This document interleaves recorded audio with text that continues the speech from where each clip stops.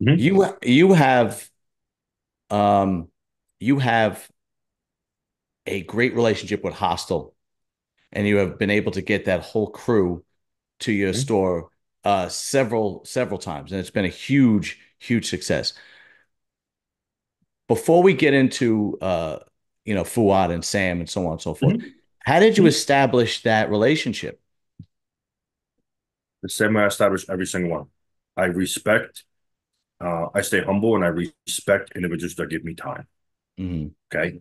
Those individuals that give me time are in a world of bodybuilding. I love bodybuilding as much as they do. And they know it. So they feel it. Okay. And um, and I never ask for anything. I always say, what can I give you? What can I do for you? So, Uh, you know, so those relationships always ended up being the same way because each individual always had good rapport to say about me, right? So, for example, Fouad, well, that was Dominic Cordone We reached out to Fouad. I want a brand. Well, I picked out the brand. We talked. He saw me supporting it. He saw me how much I love bodybuilding. Next, thing you know, we joke around, we talk, and our friendship flourishes. And it's mm, literally the same way with everybody. With everybody. I mean, um, I have a very strong relationship with Fouad. I, I really see him as a very good friend. mhm, Um, the guy is a, he's a great guy, contrary to what other people say. Um, you know, the, the guy is just like, like straight, just be loyal to me and be a good person. mm. I'll be the same way. Like it's pretty just it's pretty kind of self-explanatory. So um and you know the guy literally won't sell it to anybody in Jersey other than me.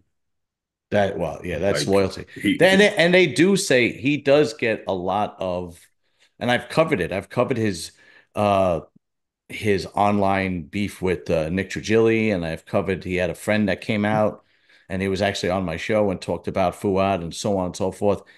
Um, but he's for some reason he's still able to uh, kind of keep his head above water.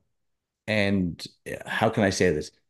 uh, be successful, even with all these people that bring this negativity and so on and so forth. Right now, I'm gonna I'm gonna sound like a little bit of a hypocrite because I do cover it. I never said anything bad about the man, but I do cover. I did cover his problem with Nick, and I did cover his problem Mhm, with uh, his friend Mish. Uh, but mhm. truth be told, he was one of the guys that inspired me to start my own podcast because I was a huge fan and still am, am a huge fan of his podcast, right? But now Do you see a difference when Sam Sulek was with him as opposed to not being with him as far as uh, selling products or uh, when you have Sam at the store or without him at the store with people coming? so I'm gonna give huge props because I was actually shocked about how well uh Fouad treated Sam. And this is listen, I was uh we were together for two days. I was around around Arnold and I was with them at the Detroit Pro. Event, post event, all that stuff. Okay. Um, Fouad flat out, Sam, are you good? Thank you so much for coming. Sam, I appreciate you for doing this for me. Sam, thank you. Is there anything else I could do for you, Sam? Mm, Fouad treated the kid. I, I, I was I was just shocked, right? Um, of how much respect he gave Sam and how much he um appreciated his value, right? Where everything that Sam did for him was him going, Hey Sam, would you want to do this? Like for my event, it was him going, Sam, look, Pat's a good friend. He wants to host an event. Would you want to do for him? Let, you know, let me know what the cost is. He he wants to pay it, whatever it is. How do you feel? It wasn't like, let's go do this. It was, it wasn't man, demanding, right? would you like to do this? No, like that's why, like, I listen, here's what I think. Here's what I think is going on. I think um I think no, no. So before Sam went to Hosstile, because I had this conversation so much, Sam was big within kids whenever he went to the gym and don't even know anything about gym or bodybuilding. Mm, He wasn't known by any bodybuilders whatsoever, right? So when he came to Hosstile, Hosstile traffic is just hardcore bodybuilders. So they're like, who the fuck is this, right? Just me. I was like, who's Sam? Like, who is this? All my yeah, athletes, all that. Next, you know, we watch the stuff. I'm like, yo, this kid's pretty cool. He explodes. Like, and I'm talking explodes. Do I he think he would have reached this trajectory without Hosstile? I think it would not. Now I'm going to say this bold statement. I'm sure people will fucking kill me, but I don't. Right. I don't think he would have reached the same status this quickly if it wasn't him joining the Hosstile. Just like Sam helped Hosstile drastically, right? Because mm-hmm. they uh, exposed Hosstile to a whole new demographic. Hosstile exposed Sam to bodybuilders.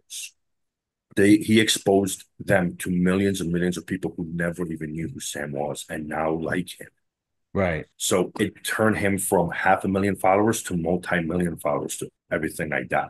Ah, so I okay. think so I think that and I see that. Like I seen that firsthand, but nobody mentions that. Everybody's just like, well, Hosstile's lucky. Yes, they were lucky to have Sam. They they found somebody that loves bodybuilding, right? Fucking loved it. Right. right? He's hardcore. He's like, hey man, you want to sign? Let's go. Let's do this. Next you know, it just exploded. And as the explosion went, Hosstile kept doing what they had to to take care of him and do more for him. But like all these other accusations, it wasn't even true, man. Like literally, ah, like okay. I remember after the I, I remember after the Detroit Pro dinner, we're all sitting there, Jim Man and everything. Then it was ended. Fouad came up to Sam was like, hey man, thank you so much for coming as a meet and greet for my Detroit Pro, man. Thank you so much for having dinner with us. Is there anything you need, man? Is there anything I can get for you? Please tell me. Oh, like, that's fantastic. Yeah. You, you know what I'm saying? So a lot of people don't realize that. Even when the when the contract ended, there was nothing horrible. It just Sam's like, I just want to do my thing. Sam has turned down contracts from fucking clothing that if I told you numbers, you would fucking shit your pants. Yeah. Right. He, see, so he seems like the kind he seems like the kind of guy that just wants to do his own thing. Whatever he yes. Yeah. Yes. I think I think all the drama is because because people can't fathom in the head that Sam is his own person and nobody forces Sam or can even manipulate Sam to do anything. Okay. He does whatever he wants, and he's actually a good person. He's a super good person. He's very wholesome. His family is extremely like I, I I assume they're Christian, but they act like extremely very old school Southern Christian. Ah, his, okay. Um, his mom, his dad, his brother, like completely wholesome, positive people. They don't want drama. They don't want none of that. Okay. They just like being in like just chill. Like same thing with Sam. So I think um I think a lot of people just give a lot of slack, man. And I think what it is too, like, look, people have disagreements with Fouad. They go their separate ways. Fouad just cuts these people off. It's like, okay, man, we got a disagreement. We don't really deal with each other. Okay, I won't deal with you either. We're done. Mm-hmm. But I think a lot of people aren't don't like that, and they want to keep bringing it up. Okay, like, okay. You see so, what I'm saying? When he's just yeah. like, I'm done. Like, what, what do you want me to do? Like, this, this, I'm not talking about you. I'm not doing anything. Just call yeah. it a day. So, so no, no truth about uh no truth about Fouad saying Sam can't do any podcasts. Uh, no truth about um, Fouad basically um, getting him on the cheap. Uh, okay. What so what the the price? I don't know any of the pricing aspects. Okay. I don't know any of that. Okay. Um, whatever was signed for, I don't know. I know though for a fact that he kept getting raises. So they kept taking care of Sam consistent. They took care of Sam. They did the right. They listen. Hosstile takes care of their people, man. They okay. really do. Well, that's good Hosstile, to know. Hosstile, like here's this podcast thing. If everything was true about the podcast, how can their athlete Nick, right? Not Nick Walker, the old athlete, but the Nick, um, forget his name. He just turned pro. How come he has his own podcast? How come Samson Dauda was on my podcast? Yeah, Samson's been on my podcast several. It's uh, yeah, multiple right. times too. Right. So there, there's nothing in there yeah. that you're like that way. It's it's just plain and simple. Like you're with a brand, you just promote one brand, just like every other contract. Yeah. All this other nonsense is flat out nonsense. Ah, okay. It's just people making up things. Listen, if Fouad, you, you remember, Sam was only because Fouad said this himself on, on a podcast. Uh, I forget who he was doing it with. He's like, and it was true. He's only had Sam on his podcast twice. If he controlled Sam, why didn't he have one every week? Right, right, right, right. I mean, it would have blew his podcast up even yeah. more. I'm glad you're actually. Once. I'm glad you're actually saying this because I was and still am a huge uh, fan of Fouad going back to when he started the podcast with Luke. You know, God rest his soul. And mm-hmm. and then from I started getting a bad taste in my mouth from everything that's being said. And then I tried to meet him at the New York Pro. I believe it was two years ago, and he walked away from the people that were trying to meet him. So I kind of was started getting a bad taste in my mouth. But I'm glad. But for a long time, people would say things and uh, on podcasts, on social media, behind the scenes. And for a long time, I was like in denial because I'm like, nah, it can't be because I'm such a huge fan of him. And then I'm like, well, maybe where there's smoke, there's fire, right? So I started getting a bad taste in my mouth. But then I'm like, and then I'm I'm like I speak to you and I go and you go no it's all crap. The guy has done nothing but treat Sam well, treat me well, treat his athletes well, and I'm actually glad that you said that because that's what I want to believe. If that makes sense, do you know what I mean? Listen, I'm not a I'm not a fan of negativity. I am a person Right. of do good for others and uh, um do good for others and be a good person. Okay.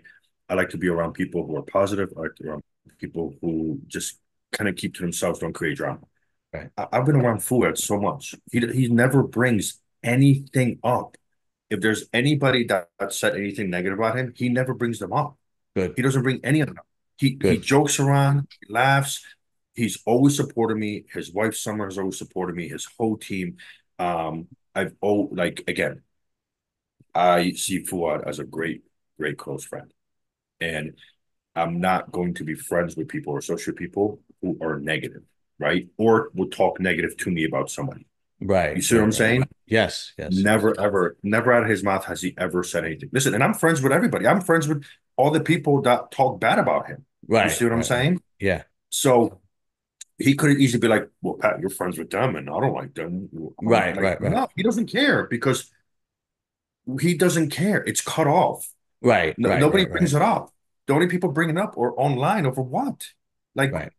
it's spilled milk, and it's between, and it's whatever the spilled milk is. It happened between those individuals within their thing.